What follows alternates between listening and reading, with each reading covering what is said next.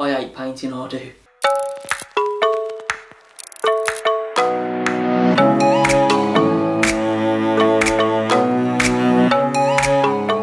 You're right guys, this is while the glue dries. Now before I get into it, I want to say a massive thank you for all the well wishes that people have been sending me. I'm feeling a lot better this week than I did last week, so thank you all for your support as always. So let's get right into it now. First up, I'm going to be mentioning the DeWalt plunge saw or track saw, depending on what you want to call it.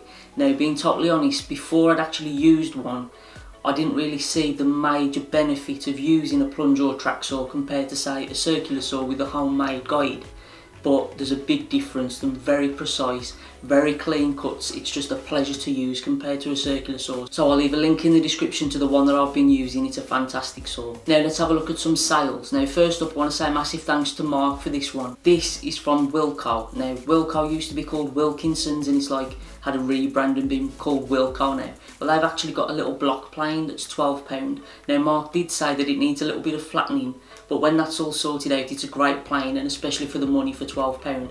Block planes are really useful to have, like knocking off corners, adding chamfers, dealing with end grain, especially them really good. So for £12, you can't really go wrong with that one. Next up in the sales we've got ITS. Now last week I mentioned that them doing the Milwaukee sale, now that's still going on, but I also noticed they've got some money off their two-piece kits. They've got Makita, DeWalt and Milwaukee in the list. So there's a link in the description to it, go and check it out. Two-piece kits and a combi drill and an impact driver. Now they're really useful to have and they've got the batteries as well, so it's well worth checking out.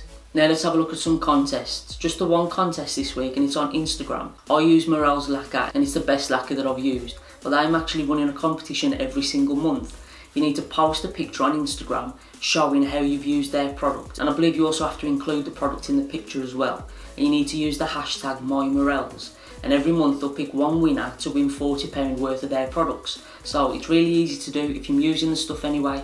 Get a picture taken, put it up on Instagram, hashtag MyMorrells, and you could win some great goodies with it. So get that one checked out, link in the description. Now let's have a look at some events. Now I've been failing to mention these past few weeks that there's actually going to be Screwfix Live going on in September and a big thank you for James for pointing out that if you get signed up early when you arrive on the day, you'll get a £30 goodie bag of different items and stuff, so it's worth registering if you're going to be going. And that's going on from the 29th of September through to the 1st of October in Farnborough, so all the information's in the link down below. Also in September, we've got the Yandles Woodworking Show, and that's happening on the 8th and 9th of September. And also there's Tool Fair going on in Coventry on the 21st and the 22nd of September. All the information to those is in the description down below. Now looking forward to next year, we've got Makers Central. Like I say, going to keep ramming this down your throats. It's going to be a fantastic fantastic event. I'm definitely going. Tickets unbooked, hotels booked too, so I'm definitely going to be there. I can't wait to meet everyone there. There's going to be massive names from America coming over, so it's just going to be a great experience all round.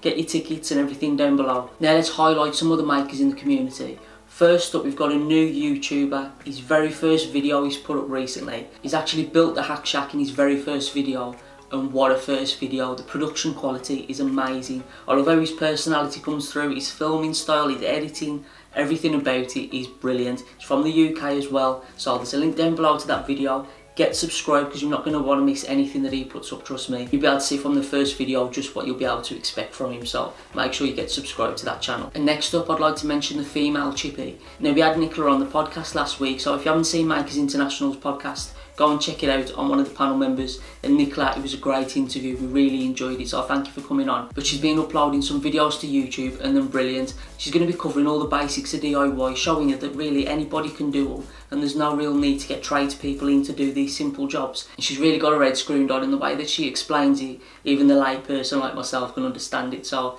well worth checking out. There's a link in the description down below to her channel. Again get subscribed get notifications, all that good stuff. Don't forget guys, you got the hashtag while the glue dries. I didn't actually get any this week. But if you want to show me what you get up to while the glue dries on your projects, use that hashtag, get it shared over social media, and I can search it and find it and put it up on the show for everyone to see. I really look forward to see what everyone gets up to. Now let's talk a little bit about what I've been up to this week.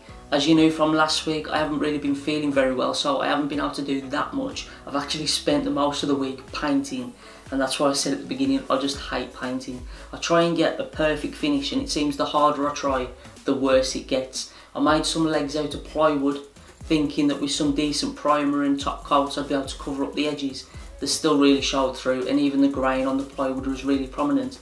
So I then made the legs again out of MDF painted them all and it was looking really nice. And then the last coat of spray it splattered and it just went everywhere and I sanded it back and I tried again. It, it just wasn't working. So at the minute I'm using brush on and you can see all the brush strokes. So I'm hoping I can get a few decent coats sand it back and then maybe water down the paint a bit brush it on and go over with a roller to try and smooth out the surface a little bit I really don't know. Painting is where I really struggle. I try and I think I rush sometimes to be honest, but I've got to get it done at the end of the day, so I've got to crack on with it. But that's all I've been doing really to be honest, is painting, painting and more painting, so I'll be glad when that's done. Now I'd like to take the opportunity to thank my Patreon supporters. Honestly guys, I really can't begin to thank you all enough for all the support that you show me on my channel. It really does go a long way to helping out everything that I do on here. And it's just so humbling to see that you would like to support me in that way, so thank you so much. So that's it then guys, that was the Glue Dries. I hope you found it helpful and I hope you found it informative. If you liked it please give it a thumbs up. If you didn't, give it a thumbs down. If you want to share it around with your friends, maybe they'll find it useful as well, please go ahead and share it.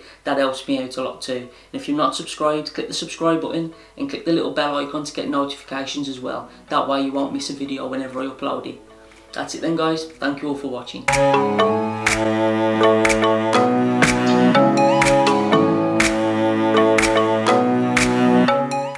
Before I go, I'll leave you with this. If a quiz is quizzical, then what's a test?